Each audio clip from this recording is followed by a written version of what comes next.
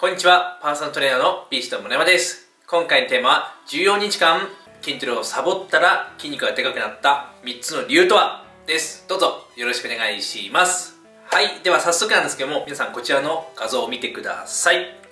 えー、こちらね、見ていただくとわかると思うんですけども、私ね、ちょっとやけにでかく見えませんか？これはね、自己分析をしてもね、やっぱりちょっとでかいんですよ。筋肉がね、肥大しているというところで、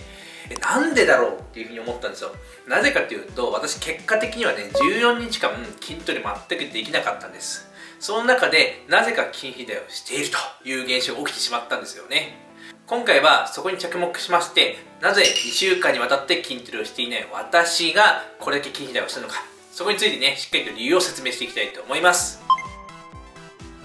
そもそもなぜ2週間にわたって筋トレができなかったか。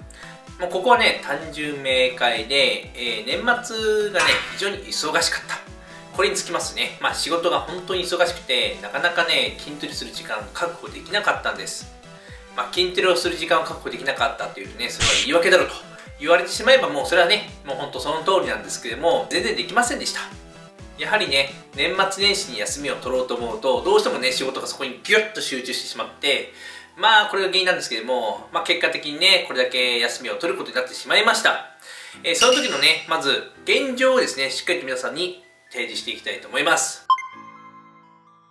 まず休むまでの筋トレ頻度なんですけども筋トレの頻度はですね、えー、週34っていう感じでしたね。ほぼほぼ4回できていたんですけれども3になってしまう時もあったので週3から4回やっていました。有酸素運動をね活用最低限動くだけで、えー、特にね一生懸命やるということはありません。食事に関して言うと PSC バランスは、えー、P が 3F が1そして C が6といった感じで低脂肪ダイエットのような状態でずっとやってはいましたが年末に限って言うと、まあ、お酒も飲んでいましたし PC バランスはかなり崩れていたと言えると思います。そして睡眠時間、えー、睡眠時間は1日2時間から3時間というね、えー、結構短い時間で活動していました。ではここからが本題なんですけどもなぜ筋肥大したのか理由を3つに絞ってきましたので解説していきたいと思います。まず睡眠時間、えー、睡眠時間がですね非常に取れました。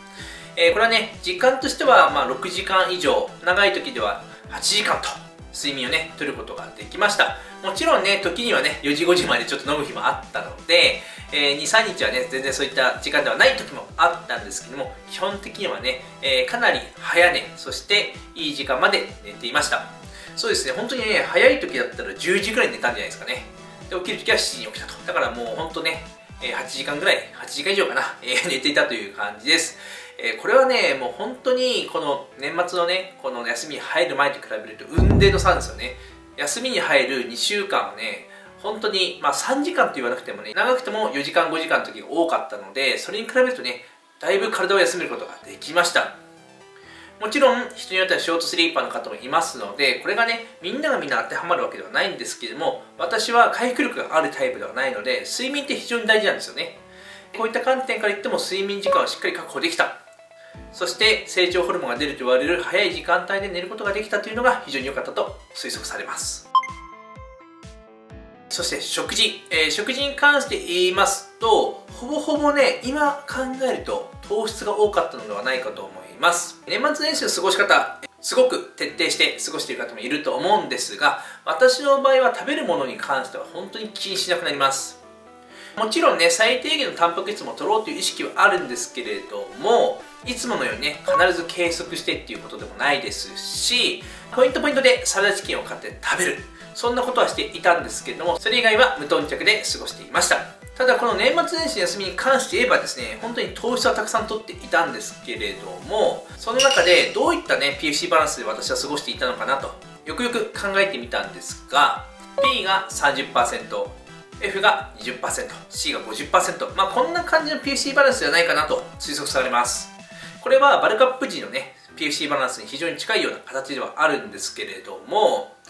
まあ油なんかもね取る日なんかは天ぷらも食べたりとかねそういった時もあったんですが基本的にはねお寿司食べたり糖質が多かったです。これがやはりね私の体を回復させるのに適した PC バランスであったのではないかなと推測されます。そして最後これを抜きでは考えられません。オーバーワークだったのかなと推測されます。もちろんオーバーワークっていうのはもうねものすごいトレーニングをしている方に当てはまる言葉だと私は思っています。ただトレーニングだけではないんですよね私の場合ですと1日の睡眠時間が非常に短いぐらい仕事をしていたとつまり回復ができていない回復ができていない中でも私はトレーニングは毎回えー、2.5キロ、5キロ、種目に応じた10キロプラスして、常に重さを更新していました。重さが更新できない時でも常に回数を増やして、常にレベルアップを図っているようなトレーニングをしていました。ですので、トレーニングにおいては妥協をせず、しっかりとやっていた自負があります。ただ、その中でこの時期、えー、回復ができなかった。睡眠時間が短かった。取りたい栄養が取れなかった。それによって回復がうまくできなかったことがオーバーワークの原因だと推測されます。私の公式 LINE がついに登録800名を超えましたダイエットに成功した筋肉がついたと嬉しい声をいただいております登録すると無料特典もありますのでご登録お願いします実際私のような方っていうのはねたくさんいると思うんです。仕事が忙しいでもトレーニング頑張っている。なかなか筋肉が発達しない。それはやはり回復が不足しているからなんですよね。そもそも筋肉ってどうやって増やすかっていうところなんですけども私たちの体っていうのは常に筋肉の合成と分解が繰り返されています。でこの合成と分解のうちに当然なんですがこの合成が上回れば筋肉って増えるわけですよ。ただこの分解が上回ってしまいますといくらトレーニング頑張ってもなかなか筋肉が発達しないんですよね。何度も言います。筋肉が発達するときにトレーニングだけすればいいわけではなくて回復させなくちゃいけない。ただその回復ができなければ当然この分解が強くなってしまいますので結果的に筋肉が発達しない。でどんどん疲れていく消耗していくという流れになってしまうわけです。もうこれってね負の連鎖で全然ダメなんですよね。またこういった論文もあります。被験者がトレーニングを2週間休んでいても筋肉の量そして筋力が落ちなかった。こんなデータが出ています。実際に私もですね昨日久々のトレーニングをすることができました。足のトレーニングをしたんですけどもまあびっくりですね、えー、各種目重量ですね5キロから15キロ伸ばすことができました。これ結構すごくないですか？特に15キロ伸びたって画期的ですよね。前回の足のトレーニングの中重量の日なんですけれども結構しんどかったんですよ。もう結構しんどかった。もうパワーがなくて上げるのが限界だったんですよね。だから次はもしかしたら重量が増やせないかもしれない。そんな心配すらありました。しかし結果として5キロから15キロ、えー、重量を伸ばすことができた。これはオーバーワークを改善できた。というですね確固たる証拠になると思います。多くの方が仕事が忙しい中一生懸命トレーニングをしていると思います。ただその時思い返してみてください。あなたの体は変わっているのか？重量は増えているのか？これが全てです。もしあなたの体が変わっていないのであれば一度休めてみてはどうでしょうか。私自身今回のリフレッシュによってずっと痛めていた胸の筋肉肩の関節そして左の太ももの外側外側抗筋この部分の痛みをしっかりと解消することができました。それによってリフレッシュ後のトレーニングは非常に質の高いトレーニングができました。何度でも言います。もしあなたが仕事が忙しくてトレーニングを一生懸命頑張っていても体が変わらないのであれば休むという選択肢。選んでみてください。きっとあなたの体が変わると思います。今回は2週間以上筋トレしていなくても筋肥大したその理由を3つご紹介していきました。今回の動画を見て自分もこれだけ休んだら筋肉が発達したもしくは筋力が強くなったそんな話がありましたらぜひ私のコメント欄にですねその情報を共有してください。皆さんで筋肉でかくしていきましょう。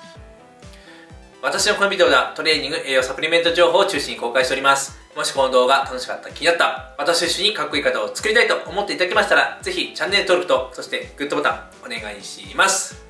そして、ここで公開している情報は、Instagram、Twitter、Facebook で公開しております。すべてビーストモネモネ検索できますので、よかったらこちらもいいねとフォローお願いします。そして私が開発した最高品質のプロテインゴールデンラスト最強の脂肪燃焼サプリメントビドツゼロえー、こちら売り切れていたんですけども現在再販しております非常に効果的なサプリメントです。自分の体を変えた方ぜひ試してみてください。今回もありがとうございました。